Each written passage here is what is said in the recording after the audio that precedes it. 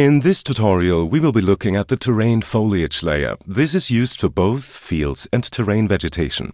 To do this, we need to switch on the terrain foliage paint mode, which can be found here.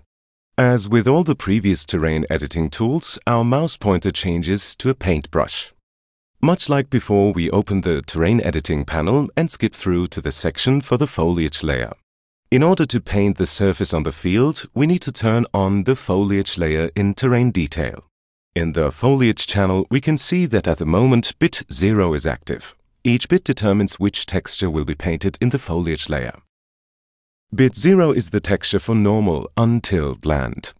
Bit 1 is the texture for plowed land. Bit 2 is the texture for planted, seed-covered land. And bit 3 is the texture for potato ridges. These four bits should not be active at the same time, otherwise errors may occur. But bit 4 to 6 can be set in addition to the previous four bits without causing problems. For example, bit 4 adds fertilizer to the previous texture. Bit 5 rotates the texture 45 degrees and bit 6 rotates it 90 degrees, both in a counterclockwise direction.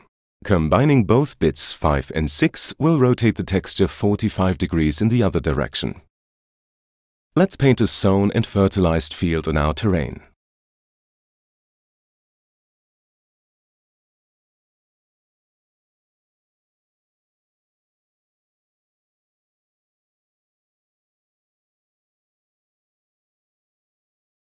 When we're finished, we'll plant some crops on our new field. This is done in a similar fashion.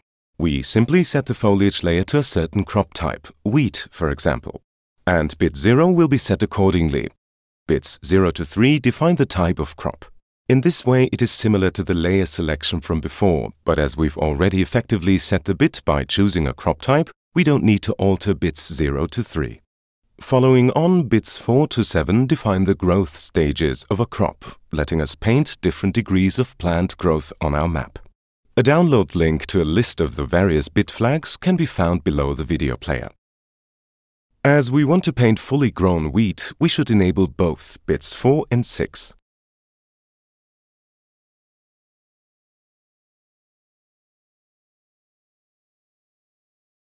Generally, we recommend starting a new game in Farming Simulator 15 following any significant map changes. This is particularly necessary after editing the foliage layer, otherwise the new foliage will not be displayed.